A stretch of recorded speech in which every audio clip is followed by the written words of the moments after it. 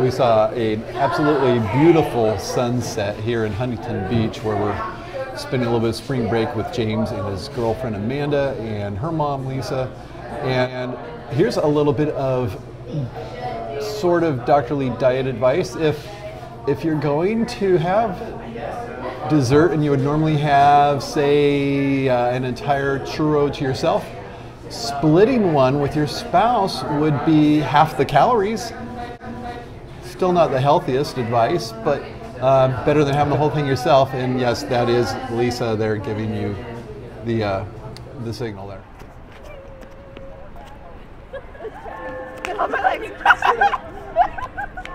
Wanted to comment on a couple of things that on the surface would look to be rather hypocritical for a doctor to be doing. Um, the, the ear removal, of course, being done by a physician very proximal in the ear somebody who has a lot of experience, but still blindly going in.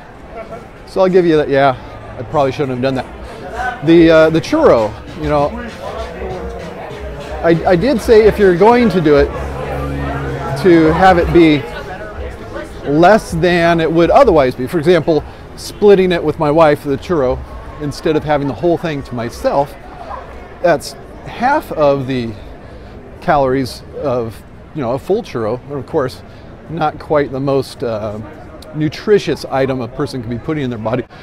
But, and I've said this before, if you're burning the calories, if you're doing a lot of walking, playing on the beach, um, after you eat it, not, not necessarily uh, the next day, then that's use of those calories, as long as it's before they're being put into storage. So I know I'm making excuses for myself, as, as all of us do, but, but I like to promote moderation, not be too extreme, still have a real life, but yeah, ideally, I wouldn't eat that sort of stuff. And there's a lot of people who don't enjoy eating that sort of stuff, and they're able to have better nutrition than I do. And I strive for good nutrition, and I encourage that in, in my viewers and my patients. So I just wanted to follow up on that. Had a great day in Huntington Beach, and uh, love to come back and visit again. It was fun. Did you hear that? It's a haunted elevator. Good night.